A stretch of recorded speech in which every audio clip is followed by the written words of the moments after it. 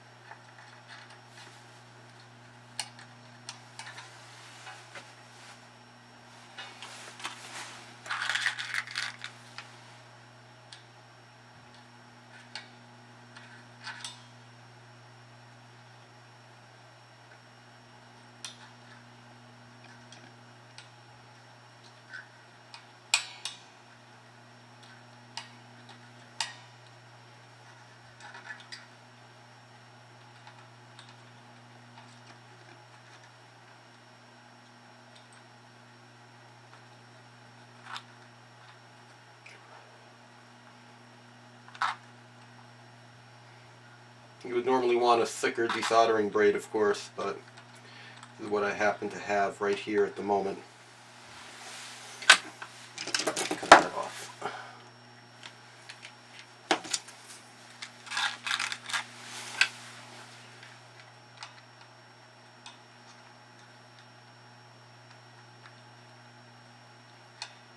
There's big globs on here.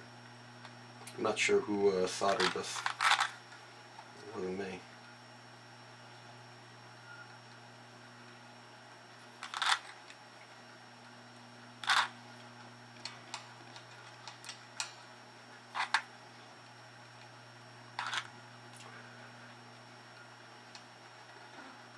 It's probably good enough.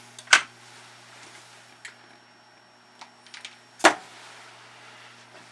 going to do something you should never do. I just want it to cool down real quick so I can work on it.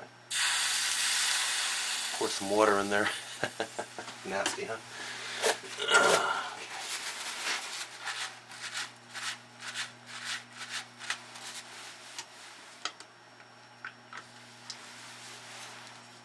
My, this is my personal strap, by the way, so don't don't anybody uh, don't anybody panic that I do this on cu- customer guitars.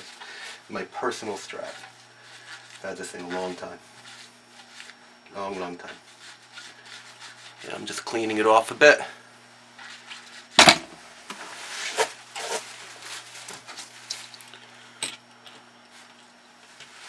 going to uh, grab some IPA on a brush. This is kind of a really awkward position that I'm in right now, by the by the way. So I'm not going to be able to do this as well as I'm going to do on a future video. But just just to demonstrate how well the JBC works. Yeah, this is this is really cool right now. By the by the way, that's um, alcohol on there. So this is pretty much this is cool to the touch. Okay. There we go. Nice and clean. Still a little bit of old solder on there, but we're going to live with that for now.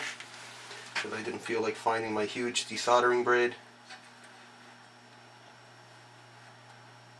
See if we can do this a little bit neater than what was actually here. Which was a bloody mess. The little clip. A little clippy there. You can't see him. That's just a um, just a heatsink clip. You don't have to use a heatsink clip. It's just what I happen to have that fits well. Clean my tip. The way the temperature on the iron is 750. Okay. Let's see if we can do a neat job here now. Let's see what we can do. Like always, I'm going to make my solder bridge. There's a nice solder bridge. Everything a chance to heat up.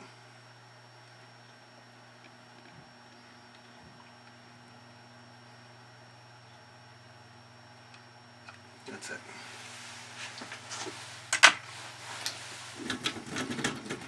Thermal capacity on this iron is um, incredible.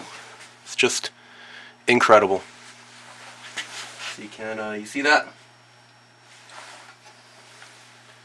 See if I can get you a better look. It's actually much better done than it actually than it's showing up on the tape right there. It's just an odd angle. See if I can get you a better look at look at this.